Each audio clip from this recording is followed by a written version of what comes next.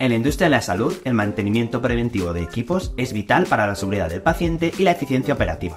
Implementar un programa de mantenimiento preventivo aporta beneficios como prevenir fallos graves, mantener equipos en buen estado, evitar reparaciones costosas, prolongar la vida útil de los equipos, asegurar el cumplimiento de normativas y por último reducir el riesgo de accidentes. Para realizar una aplicación práctica del mantenimiento preventivo, hace falta seguir estos seis pasos claves. 1. Identifica y clasifica equipos críticos. 2. Establece intervalos de mantenimiento. 3. Crea un plan detallado. 4. Asigna recursos necesarios. 5. Ejecuta el plan periódicamente. Y por último, evalúa y ajusta el plan.